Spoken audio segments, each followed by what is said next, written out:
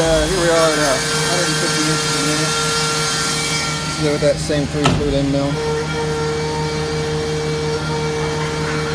Just really cruising along here pretty cool.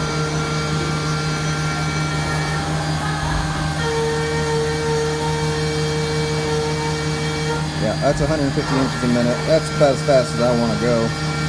This is a 1996 Fadal BC 40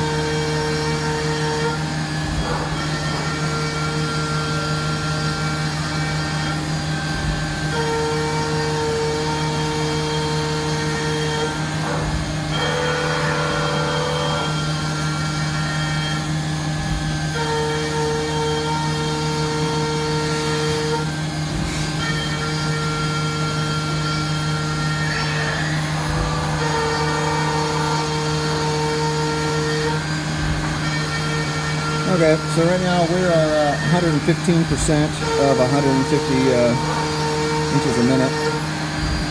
After starting to see a little bit more than 30% spindle load on it.